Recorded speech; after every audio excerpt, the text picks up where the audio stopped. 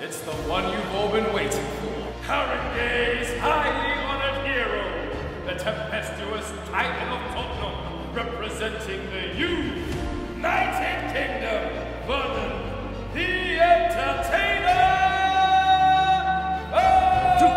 Three, four, and away! Such speed! So light on his feet, like he's gliding. The referee immediately raises Vanriel's arm. Tonight's winner, Vernon Vanriel. Doubts are closing in now on Vanriel. You're a nothing.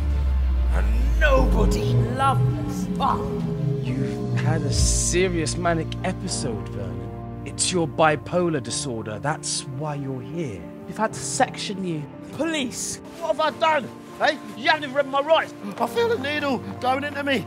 He's lost consciousness. Get an ambulance. It's as if I'm flying. I can see myself. Yes, he's back. We've got a rhythm. We've got a heartbeat. It's like a miracle, Vernon. Like Lazarus back from the dead. God's giving you a sign. Giving you another chance. Just try to start something new. Go someplace. Have a clean slate. What's your name? Vanriel. Vernon Joshua Vanriel. You know, have a visa. Don't need one. Never needed one. I'm British. Don't get more British than me. But you not have a British passport. It's your indefinite leave to remain status that are no longer valid.